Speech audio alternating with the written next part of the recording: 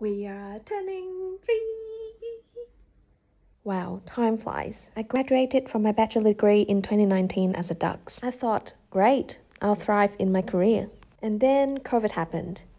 And then I started my business. I kept changing jobs and blaming that my workplace didn't suit me, but in fact, it's the industry that I needed to change. I still remember the first face mask that I made, the first market that I attended. I remember how anxious I was, spending like $600 of my savings to book a market stall, and I didn't know what to expect. Yeah, that was my first signage. Look at it. My watch bands got more popular, so I was more confident attending more markets in Adelaide. I then expanded my products to screen printing t shirts, jumpers, and earrings, which have been my best decision.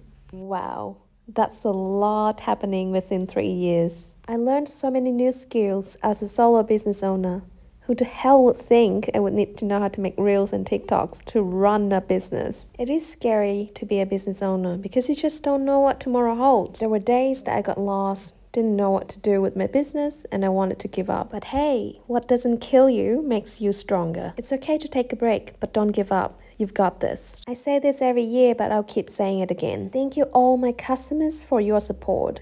Some have been supporting me since day one, and I wouldn't make it here without you. So I would like to take this opportunity to give you 50% off my entire website for 24 hours only, including t-shirts, jumpers, watch bands, earrings, everything. Sale ends on Sunday 23rd of April at 3 pm ACST. So hurry, shopping link in bio.